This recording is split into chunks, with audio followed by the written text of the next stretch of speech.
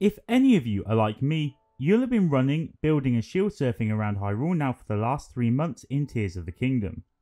It's hard to believe that three months have passed already, and unlike Breath of the Wild, we've heard absolutely nothing to date about downloadable content for the largest ever Zelda game. To put it into perspective, Breath of the Wild launched with the expansion pass being purchasable. This pass would allow players to pre-buy the DLC prior to its release, but Tears of the Kingdom doesn't have that. So either Nintendo are keeping things a mighty big secret or have no plans for downloadable content for the game. The first piece of DLC, the Master Trials was released on June 30th, 2017, a near full four months after the game released. But with this time period fast approaching, all we want to know, Nintendo, is where the hell is my DLC? There's not even been a remote sniff at what the DLC could well be, and that's what we're looking at in this video. 5 ideas for what could be involved in the downloadable content for Tears of the Kingdom. Hey, listen!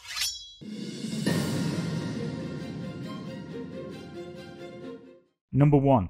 Master Mode. While it's not a new outfit or a cool device, this one absolutely qualifies as a no-brainer for Tears of the Kingdom. One of the best additions during the Master Trials downloadable content was a hard mode of sorts for Breath of the Wild, where monsters were all scaled up by at least one level and a totally new form of monster were added to the game. Golden Beasts. These, a take on the golden monsters from the Minish Cap, were a great addition to the game, adding more health to the silver enemies who were tough enough as they were, the thing is, Fuse as an ability semi-broke the game. You could almost far too easily create weapons of over 100 power, which then factored in with the fact that you can break enemies such as Lynels by mounting them with an already existing but nearly broken weapon, and even the toughest enemies in the game, Silver Lynels and Gleeok are almost far too easy to defeat even for those that don't value the combat massively in this game. Golden enemies though would change the game once again. The addition of these creatures would mean that weapons would break faster and the fights themselves would last longer.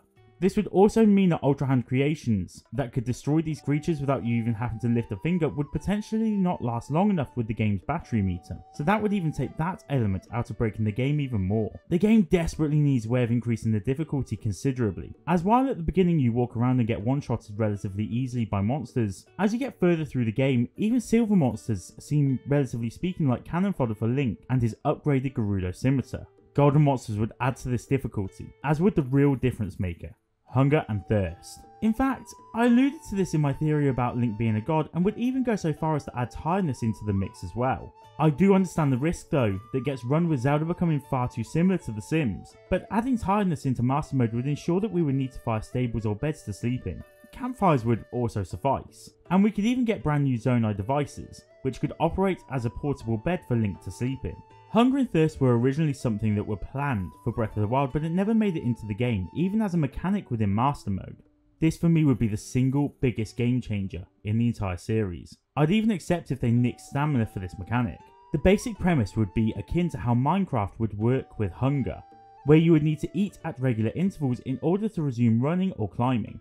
As you run out of food in your system, Link begins to suffer damage as a result of his lack of nourishment. Thirst works in the same way also, with items such as splash fruit now having more of a use outside of throwing them to get rid of goop on the floor. Now of course, there will be a few implementations in order to help Link survive this harsh world. The first will be a new type of shop at some of the key areas or even maybe the Zonai Forges. An actual blacksmith who for a cost of the breaking weapon, some rupees and some materials will be able to repair these nearly broken weapons. This would just make life a little easier and combat us running out of weapons so easily as all monsters would be leveled up immediately. While it's too late to go in and patch a lot of these things, they would be an incredible addition, and we could even go one further and add one last mechanic, something I was almost certain would be in effect from day one, the Bloodstained Moon. I'd like to see a slight change to this within a master mode that sees monsters level up when a blood moon hits and not just be revived. If they are already defeated, they come back at the level they were at originally. But if they already spawned, then a blood moon should 100% allow these creatures to level up even further, all the way up to their gold counterparts. I mean, I figure if we're going to go hard, let's go hard. Number 2. More Sky Islands. Talking of going hard, Nintendo really went hard on the marketing of Tears of the Kingdom, and one of the key strategies for them was to promote going into the sky. They even released a 10 minute gameplay trailer that was almost exclusively based in the sky. So, how disappointing was it when you left the Great Sky Isles? You reach the surface and find out that you almost never have to go up into the air again. The Sky Islands were probably my main one issue with the game in general. Other than the 32 shrines that sat above the land, and the new revamped Temple of Time and the Great Sky Islands, there was almost zero points in the tiny islands that were dotted all over the world. In fact, this seemed a bit more like a plot device more than anything else, a way of telling us that these islands were once whole entities and not split up, and housed the Zonai. way up in the heavens. We also managed to get two dungeons out of the Sky Islands, the Water Temple and the Wind Temple, and one of these was seriously underwhelming. Seriously, first of all, why is the Water Temple above the land? And secondly, as a dungeon goes, this could have been so much better. Oh, how I miss you, actual water-based dungeons. But based on the marketing and the push on Link being on the Sky Islands, you would honestly think that the game spent 50% of its time above ground. But we got absolutely nowhere near. In fact, we actually spend more time at the location that wasn't advertised at all, the depths, and by a long way, due to the fact that it's the grind center, a whole new map, and that we need to upgrade a whole new mechanic using a currency that is only found in the depths. Another idea for DLC is really simple. More Sky Islands. Give us more to do up in the air. It's just that simple. Give us more variation. I'm sorry, but the Sky Islands are made up pretty much of one of three types of island these flower shaped islands where we literally get to take a picture for a side quest, these spherical islands that contain a puzzle of some format in order to unlock a shrine, and these slightly more sprawling islands that have a zonai dispenser, some form of zonai parts, and a shrine. Sometimes we may get a flux construct up here too, but they qualify as exactly the same type of island. That's it. So hey listen, what do you propose we do, I hear you cry? Simple. But I'll tell you right after you've hit the magic button that subscribes you to the channel and after you've dropped a thumbs up on the video. I'll give you three seconds. Three, two, one. Done it? Okay, so my solution to the Sky Island problem is actually really simple. I want to see more Sky Islands drop from the heavens. I want to see bigger islands with former broken down civilization ruins. Old towns, castles and areas of interest that could be marked by old events that happened millennia ago. Tell me that it wouldn't be absolutely awesome to come across a sky island with the ruins of Skyloft from Skyward Sword, or even the city in the sky from Twilight Princess. We don't need these areas to be massively interactable, we just need extra things to do up in the air. I would take having extra boss fights, extra levels of Flux Construct, or new versions of the Gleeok, or even more stealth areas with level 4 constructs in these areas. New side quests forcing us to go up here would also be heavily welcomed. We could do so much with this great area in the sky, and yet here we are, heading up there for what seems to be very little incentive. Number 3. A new trial of the sword. You know Nintendo, when you tell players the sword of legend that we're about to pull from a freaking dragon's head is more powerful than before because it's been bathed in light for thousands of years, we kind of expect it to be, oh, stronger. It's evident in the fact that Ganondorf can cause the tip to fly off and degrade it immediately. But by the end of the game, it can actually defeat the King of Evil. But the actuality of this is that it's no stronger than its Breath of the Wild counterpart. In fact, technically, it's weaker than the final form that's in the former game because of the Trial of the Sword downloadable content. The Master Sword clocks in with a pretty dismal end stat of 30 base power. With fusions in Tears of the Kingdom, we can up this a decent amount, but as a base power, 30 is well disappointing considering this blade is legendary. In Breath of the Wild, once we get Fi's power activated, and yes, I blame Fi for this, as she is blatantly latent within the sword, we have a new base power of 60 and a lovely blue hue. But this sword in Tears of the Kingdom, even with the Light's Blessing, is still only rated at 30 power, so by nature we need to find ourselves a way of upping the stakes when it comes to the Master Sword. Now, I'm not saying that I want another enemy gauntlet like the Trial of the Sword in Breath of the Wild. That doesn't appeal to everyone. No, what I propose is a new type of trial. One that utilises a different side of the Triforce. See, enemy gauntlets allude to power, the puzzles that we see in the dungeons and shrines are all about wisdom. So why not have something represent the dragon or wolf in Zelda lore and have a courageous trial? How about a new set of dungeons filled with enemies, new puzzles, several stories high? How about we reuse the old dungeons even but put time limits on them, adding intensity to the completion of the dungeons? Doing this in fact would add some replayability back to the dungeons that feel like one-time things, and with the right time limits being imposed could end up making dungeons such as the Fire Temple incredibly frustrating. It would be a good excuse to learn these dungeons like the back of our hand in order to complete them quickly to get our reward. At the end of the four base dungeons, fire, water, lightning and wind, I feel like we could have something new. Something involving what the spirit temple perhaps should have been, or even perhaps a temple of light or time, which would see us solving light based puzzles using two of the most pointless zonai parts, the light and the mirror. We could also have to attach a mirror onto a shield to bounce light around. We had this teased in the Soryotanog shrine and again within the lightning temple itself when we got to use mirrors and lights to open our way forward. When I found out though that it's only replicated once more in the whole game aside from these two locations, it felt like a huge disappointment and I immediately wanted more. I love light puzzles, with some of my favourites being within the Stone Tower Temple in Majora's Mask. I was taken back to that immediately when solving some of these puzzles in Tears of the Kingdom, but I immediately wanted more. This could be Nintendo's way of giving back to us the players. The real use of the light puzzle as we bounce lights around from four different areas onto the Master Sword to bathe it in light one more time and increase its power even further. These puzzles would need to be different enough to the Lightning Temple, so I would propose enforcing the players use Zonai parts to make the light bounce around for more of a challenge. A gauntlet of dungeons with one final extra dungeon at the end of the game would add a bucket load of extra things to do in the game and would increase the gameplay time by a lot.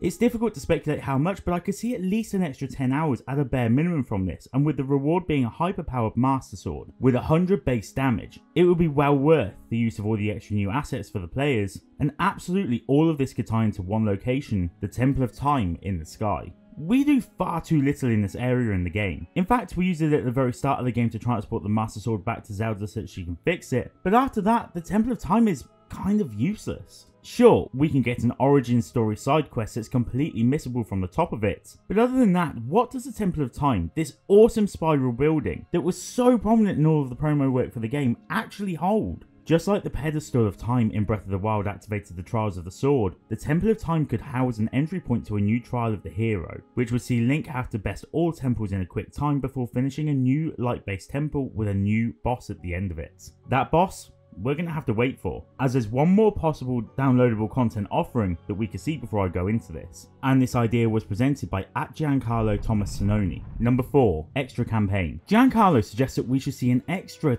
30 hour campaign that connects all of the story together leaving no loose ends. This extra storyline should connect to the past where Zelda was to the future where Link is now. It should encompass the Triforce, how the current Ganondorf came to be and why the Zonai went extinct as well as confirm or deny who the dragons, something I may have looked a little too extensively at lately, really are, and whether the Zonai indeed swallow secret stones to become the dragons. I think these answers are, Giancarlo, what everyone wants from the game. But then also if they did this, just what in the hell would I have to talk about on this channel? See, Nintendo have this thing. They actually like to leave loose threads in Zelda games so that people continue to talk about them as time goes on, and so that they can get a little bit of free publicity from outlets such as YouTube. The more people talking about their game in 3 months, a year or 7 years after the release, the better for them. This is why I don't think they would tie everything up together in this way. But an extra 30 hours of gameplay with extra story elements? Sure, sign me up. Instead of tearing the suggestion down though and making Giancarlo feel like rubbish for making a suggestion, let's look at how this could work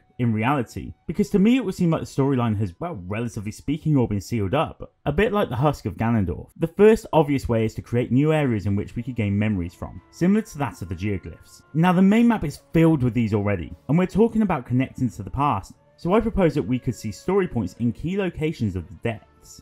After all, this is an area that I have covered a lot, and concluded that it is the remnants of a past civilization, perhaps not Zonai, but a world even before that. I don't think anyone would benefit from us having more geoglyphs down here, but I certainly feel like we could have a side quest either started by Josha, Robbie or Purah, explaining that more strange occurrences have happened in the depths, sort of like temporal anomalies. Link could then venture down to the depths and find the anomalies, like a portal, where he is then transported to an area in the past in which he is then tasked with finding a particular item. Sort of a bit like Skyward Sword's absolutely terrifying Silent Realm sections. Upon finding these items or artifacts, or even new armor sets, Link then views a scene play out in front of him similar to the Dragon's Tears, where he sees the past elements that Giancarlo here outlaid in his comments. This would work pretty well for filling the gaps and would definitely be a way to go if Nintendo plan on Tears of the Kingdom being the final entry for the timeline in this Zelda series. The truth of the matter though is that neither this timeline nor the Zelda series in general are going anywhere. So I really don't think they'll close everything off just like that, and adding 30 hours for what will be in reality a $10 or £10 DLC would be very unlikely. But thank you so much for the suggestion. If you want your suggestions to make it onto one of my videos, please drop a comment below and get involved on the community posts like this one, where Giancarlo got his suggestion answered. I posted this poll a few weeks ago and was amazingly surprised by the amount of votes for our top suggestion to Nintendo for what should be included in DLC upon release. At the time of writing this script, 59% of you voted for this option. Number 5, Dark Link. When we spoke about the Trial of the Sword, or Hero as I would call it, I mentioned the Light Temple, something that would serve as a final location for the Master Sword to gain its true, unrivaled power. I also teased the last boss, and there's just one boss from any Zelda game that suits the mood of a Light Temple entirely. Because when I think of Light, the first thing I think about is its counterpart, Darkness. Without one, there can't be the other. And imagine after you spend a few hours setting up lights and mirrors to shine onto the Master Sword for it to fully power up, and just as you grab the Blade of Evil's Bane, a gate drops in front of the pedestal it sat in, and as Link stands in the light he just created, a shadow forms from his feet, reaching outwards and upwards, forming a human shape that us Zelda fans have been dying to see again in a proper capacity since Twilight Princess. And even then we didn't get to fight him back then. In fact, We've only ever got to fight Dark Link twice in the entire series history, in Adventure of Link as one of the final bosses, and Ocarina of Time as a sub-boss in the Water Temple. This fight, especially in Ocarina, is deemed as one of the very best parts of Ocarina of Time and of the series, and it's almost a perfect fight against an opponent who is as skilled as Link, with the same health as Link. Your exact shadow copies everything you do when you do it, and that's what makes this fight such a challenge. Tears of the Kingdom is no stranger to challenging fights, especially against the penultimate final boss. But this would take that just one step further, with Dark Link doing his very best at parrying, perfect dodging and disappearing into the shadows to further mess with you as the player. He will be able to appear behind you, in front of you and hit you with his sword, or whatever weapon you are wielding, including fused creations. If we really wanted to go extra, he could even have the Zonai arm in this instance, just to really mess with us. And ascend against us, fuse weapons and items together and hell, even create Zonai creations. He could have a mirror image inventory, able to use any foods that you've created to heal, and would certainly have the same amount of health as the player at the current time of playing, which would encourage these crazy runs on the game of 3 heart runs so that they could get to this fight and have it easier. Combat wise, I'd like to see a fusion, no pun intended, between hand-to-hand combat, forcing Dark Link back into the shadow form on the floor, and gimmick fighting like the boss battles in the dungeons, where the lights that we use to power the Master Sword could be used to damage his shadow form even further. This would probably be the most amazing boss fight in the history of Zelda, and would make any DLC that we've been waiting for even more worth the wait. And that's it. Five possible ideas for DLC that could all be massively feasible and would dramatically improve the life of Tears of the Kingdom. But tell me, what would you want added in the form of DLC to this already incredible game? Get involved in the comments below and don't forget to like the video and subscribe to the channel. We are so close to the thousand mark now. You guys are all awesome. Thank you all so much. I'll see you next time. Bye!